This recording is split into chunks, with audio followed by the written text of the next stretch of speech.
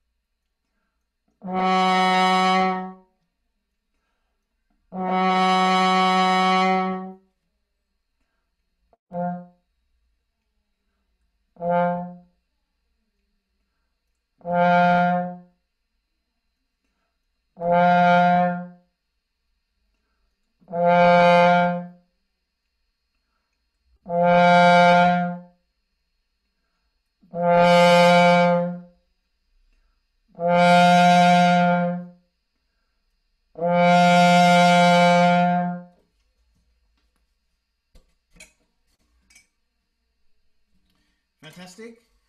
Uh, the next one we're going to do is uh, from what Gail showed us last week.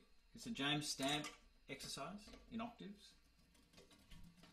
So we'll start on uh, horn uh, pitch C, so concert F in the middle of the state.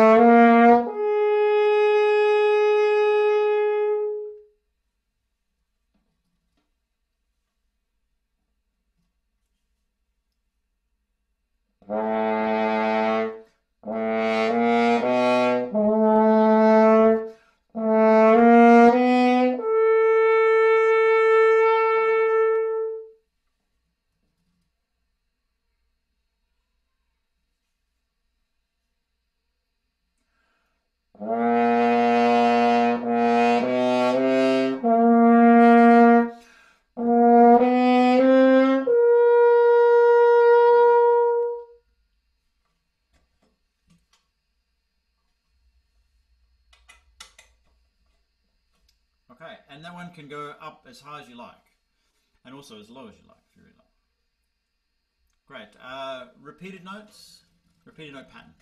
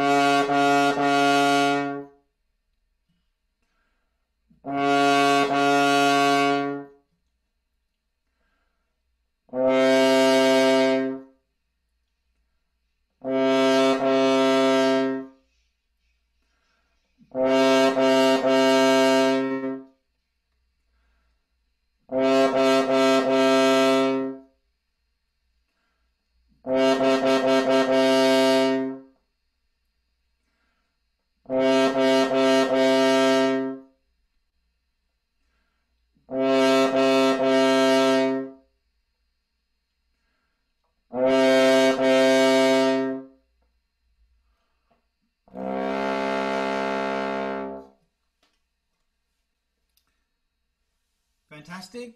Thank you very much. So I think Alex Shuhan, you have something for us this morning from Ithaca. Thank you, Andrew, for the opportunity to share these uh, couple of exercises with all of you. These harmonic series half adjacent half step exercises just explore the aural relationship between, uh, for example, C major and B major and or the C harmonic series and the B harmonic series for us. And there are really interesting sonic sounds as you explore these. Certainly, you can extend this exercise up through higher partials or lower partials as well. And uh, there's some really interesting sounds that you get. And the idea is to just minimize the effort that you're that you're uh, using here and let your air try to do most of the work. Uh, this is a huge issue for me in my playing, so I'm always trying to find ways of addressing that. And these exercises, while I don't necessarily always sound great playing them, but they definitely help me find ways to improve that aspect of my playing. Cool. Thanks so much.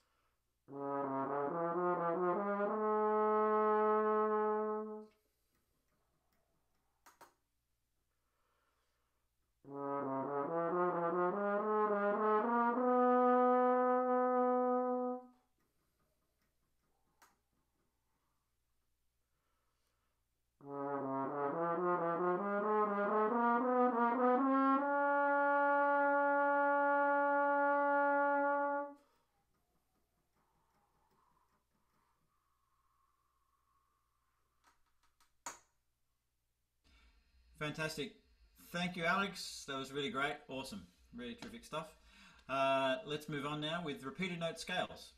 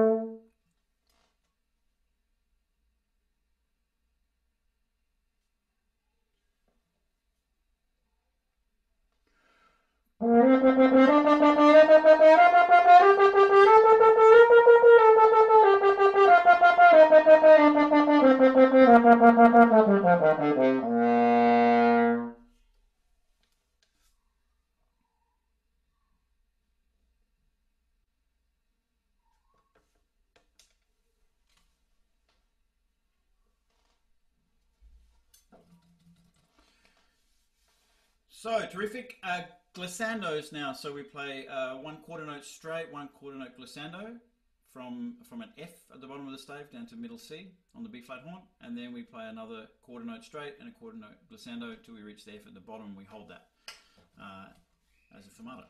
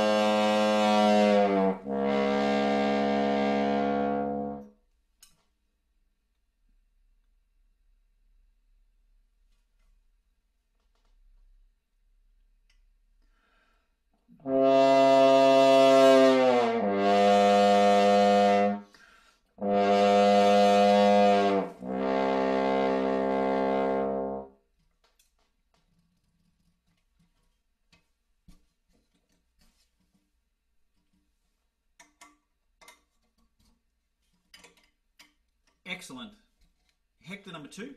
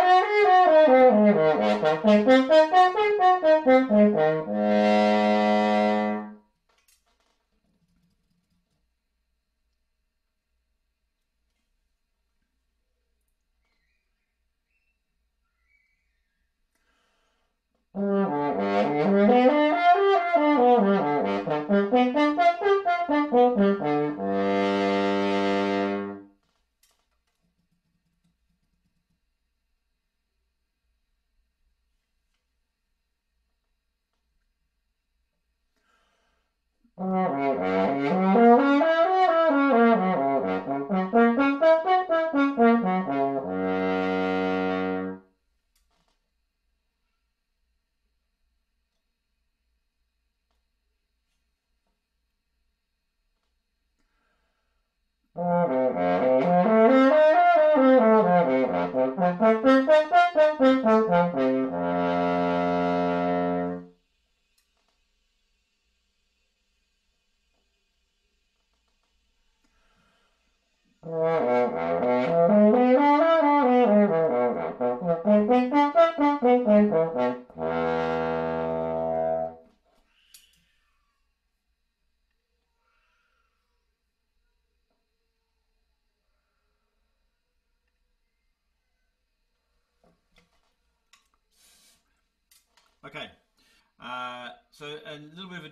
Today from uh, from the previous uh, days is we're going to do a, a little scale exercise once I find it uh, from uh, James Stamp, and it's a it's an articulation one. It's it's sort of similar to the repeated repeated note scale uh, pattern that we've um, we've sort of done in the past. Um, but it's two octaves, starting on. let's start on. Um, what are we still going to start on? Um, pedal C to start with today.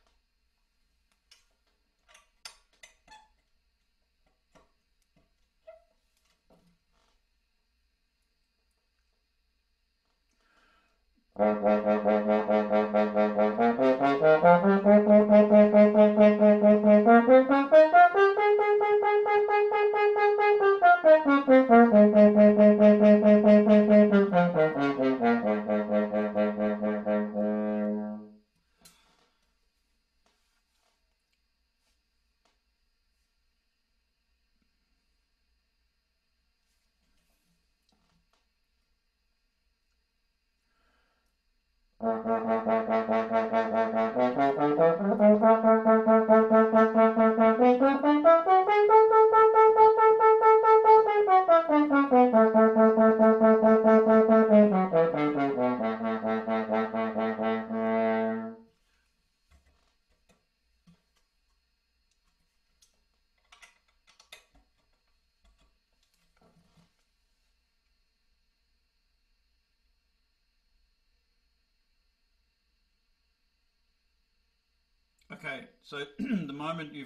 for, uh, lip trills. so who who uh, has any trouble with lip trills? Anyone have any trouble with lip trills? Anyone have no trouble with lip trills? Oh, good. Yeah, uh, there are some people. It's quite amazing. Some people uh, just don't have problems with lip trills, and it's just a piece of cake. And I wish I was one of those people, but I'm not. I have to do a lot of work. So my idea with lip trills is that if I can play sort of fast over large intervals, as the interval gets smaller, life is going to be easier. So uh, I, I start in, in octaves and try to try to and and gradually speed it up.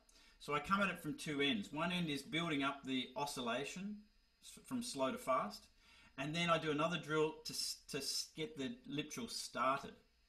So we're going to do both of those drills uh, today. So we're going to start on um, F horn uh, on a middle C over an octave. So it's going to sound like, and, and I'm not too worried about if, I, if this is too clean or not. That doesn't bother me. What, what I'm trying to do is just make sure that my air stays really stable throughout this and I'm, and I'm feeling this oscillation. So.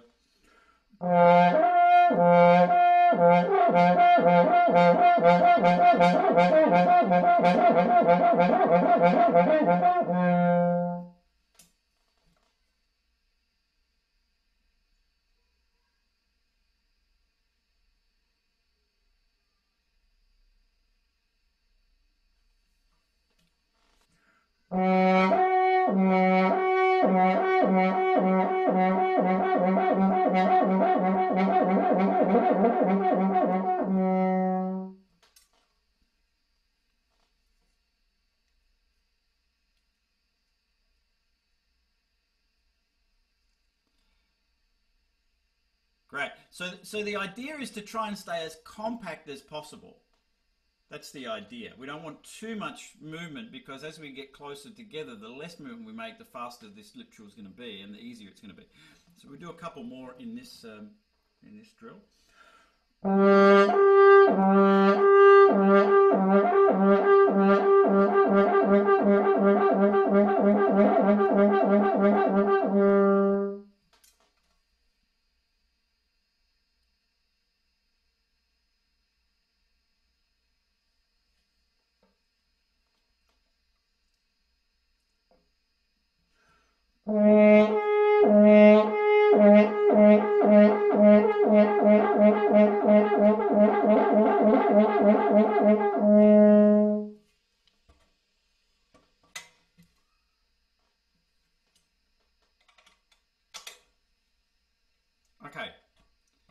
So, so the good news is that's that's as bad as it gets.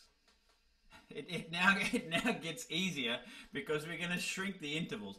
So now we're going to start on a G on the F horn, concert C, and we're going to oscillate to the C above. So.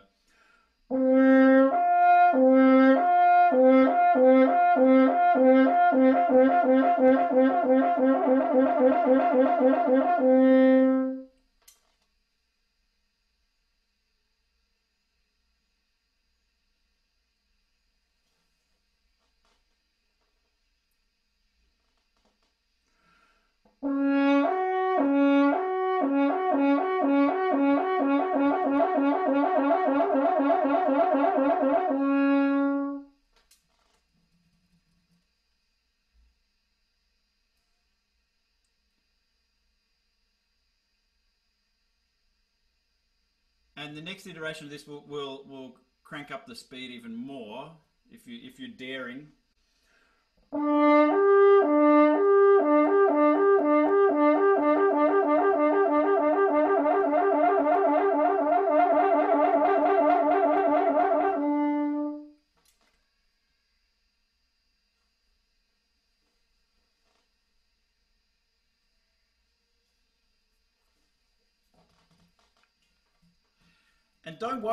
Can't do the whatever they were, sextuplet, 12 tuplet thing. That's fine, that'll come in time. But just make sure that you keep focusing that the airstream stays straight and supported. And that your corners are nice and stable and you'll get this oscillation on either side. But it's really important that we're getting both notes in the center. Often with lip trills, one note will be um, stronger than the other, and we want them both to be as even as possible. Um, Great.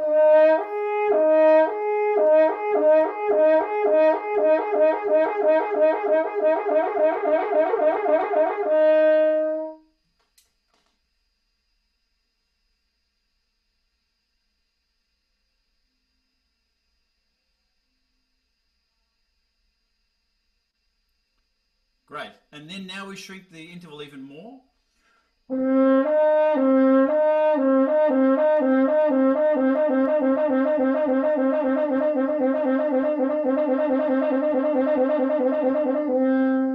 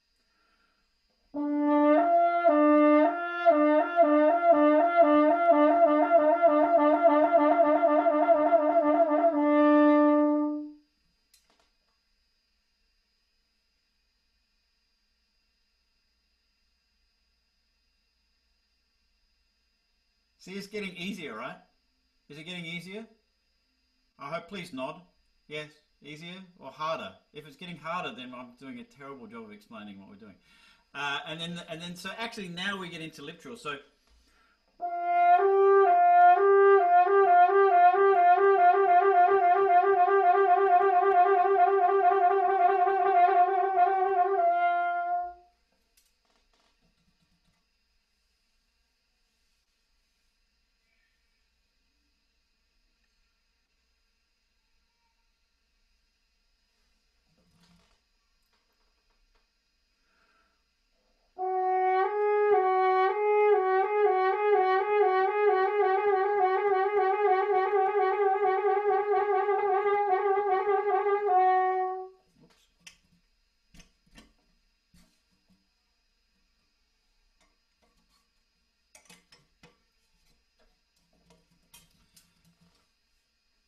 Basically the breakdown of that drill, and it uh, it's not some lip drills are not something you want to practice for long blocks of time because they tend to be quite tiring.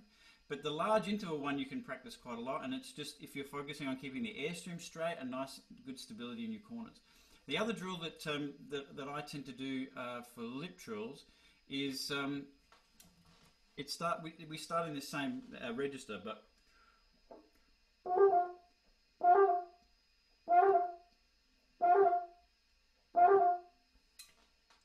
it's this fast. This is this is designed to get the lip trill started. So doyon, doyon.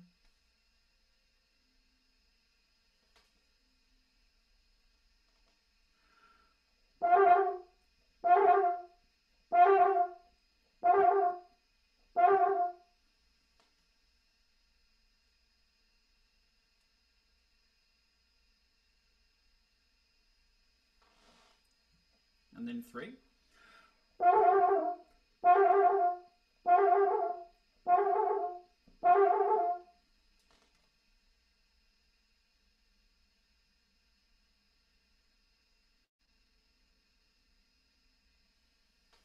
and so on with that. So, so we're approaching trills from both angles. So from these large intervals slowly and then gradually speeding up and then reducing the size of the interval. And then this beginning part of the trill. Because for me, I know that's my, my biggest problem actually is uh, once I get the trill going, it's okay, but actually getting it started is, is, um, is the trick sometimes. Cool. So, if there are any questions about that, let us know uh, on the Facebook group or in the chat. That's cool. Uh, right, now for something nice and relaxing, we're going to go to Mark Inouye exercise. So, the Mark Inouye exercise is we start on a low G, concert C. We're going to play G with a regular fingering, and then we're going to play the same pitch with the, with the fingering a semitone higher. So.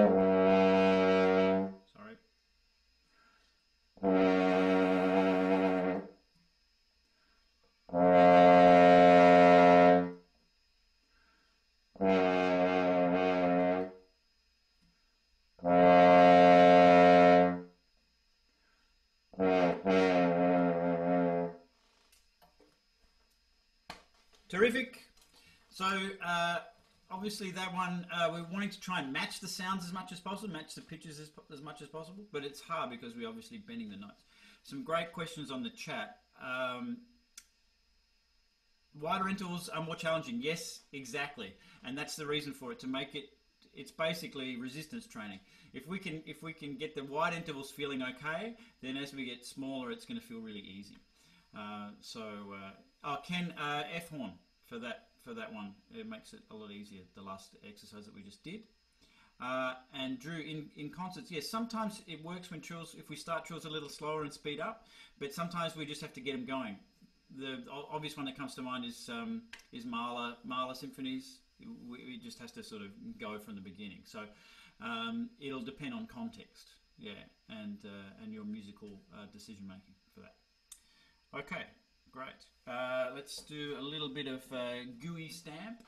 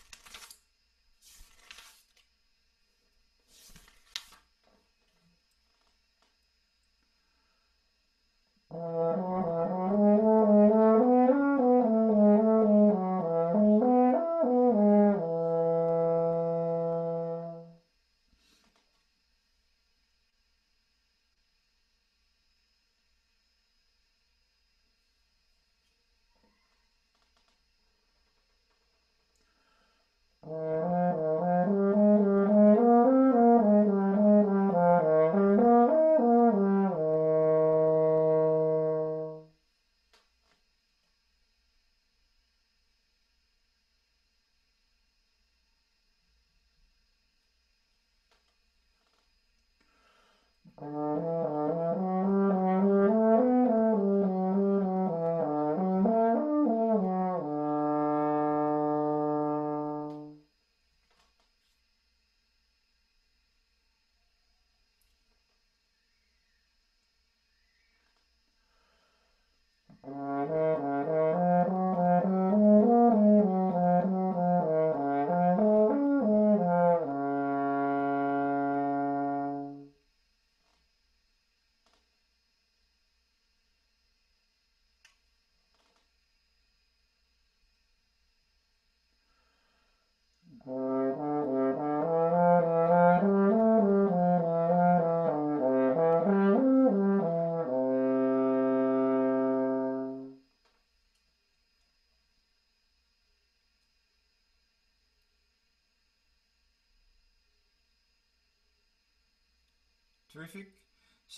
Uh, when you when you're setting up your own routine or your own uh, warm up uh, exercise platform, however you want to word it, uh, it's good to have these alternating exercises. So something low and maybe loud, something softer and more noodly, some high stuff followed by some lower stuff, so that we're mixing it up. And uh, but you're always trying to ingrain the same habits, the same quality habits. For me, make sure I'm breathing well, make sure I'm feeling nice and open and relaxed with the blowing corners nice and forward, and for my, my tongue, make sure it's hitting the same spot every time.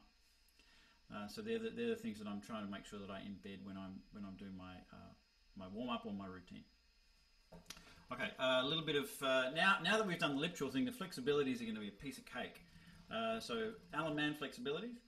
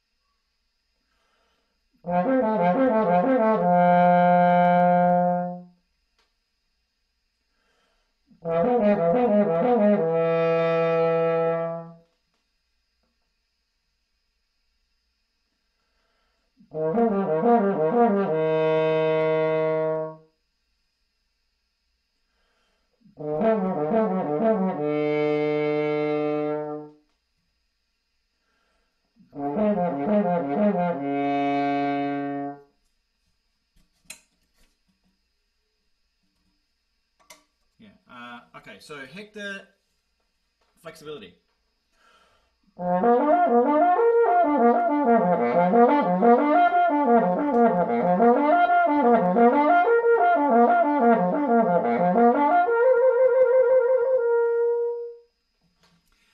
See? Lip trills.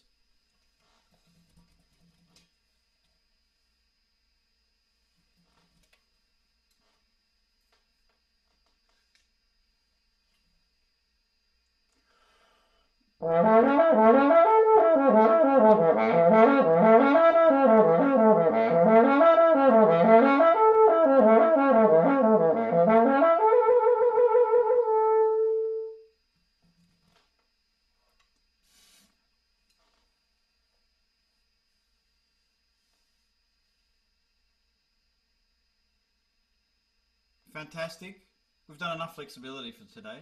Uh, before we do, before we do the uh, last one, the elephant, uh, wants us to take a picture. I think. Yes. Can you guys all just hold up your horns in the screen here and give me a couple seconds? All right. Nice. Everyone got them up. Well, I want to see your faces too, not just horns. Perfect. Okay. One, two, three. Okay, hang on. I have to turn the page on the Zoom thing. Okay. Again, one, two, three. Awesome. One, two, three. Okay. Got it. Thank you. Thanks, everyone. Good. We'll send. We'll send you a laminated copy uh, in the mail. Yeah. as long as long as you laminate it yourself, that'll be fine. Okay. Uh, elephant.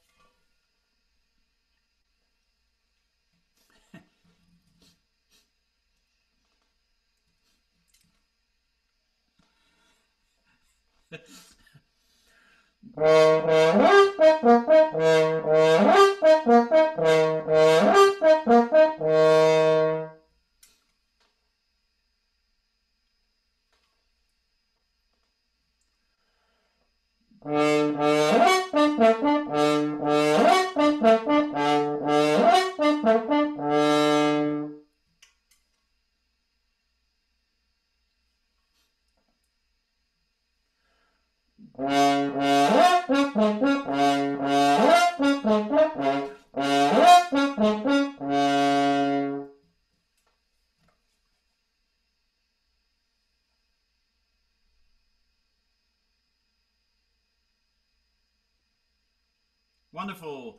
Thank you, everybody. Uh, great to see everyone. Uh, look forward to seeing you on Wednesday at 4 o'clock. If not, then we will see you on next Monday. Have a great week. Thanks.